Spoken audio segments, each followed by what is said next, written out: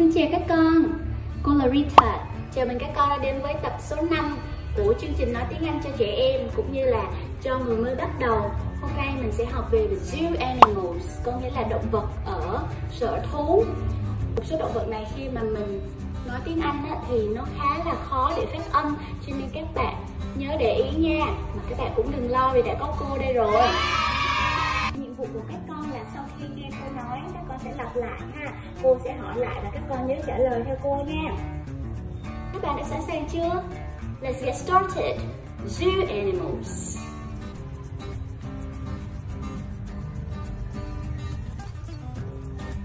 What do you see? I see an alligator. What do you see? Good. Diana? The cheetah. What do you see? What do you see? I see a chimpanzee. What do you see? Giỏi lắm, tiếp tục nha. What do you see?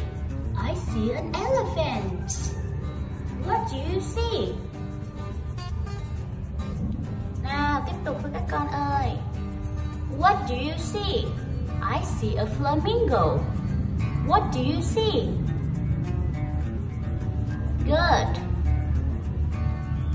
What do you see? I see a giraffe. What do you see?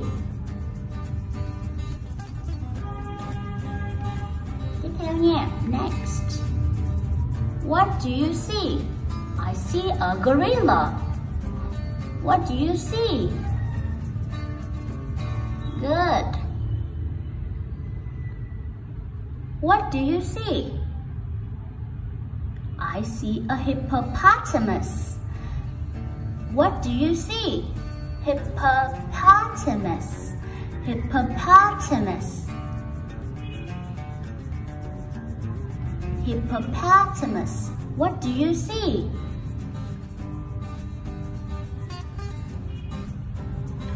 What do you see? I see a kangaroo. What do you see? What do you see? I see a leopard. I see a leopard. What do you see? Good job. What do you see? I see a lion. What do you see? Next one. What do you see? I see a monkey. What do you see?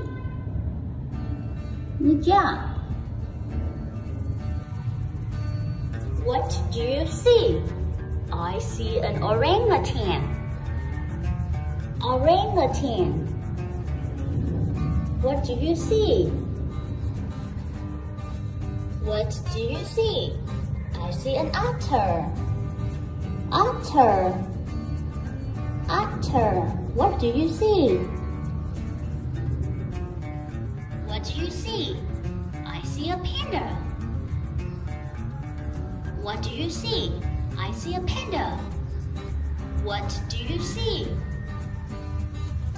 Very good. Next one. What do you see? I see a penguin. I see a penguin. What do you see? Very good.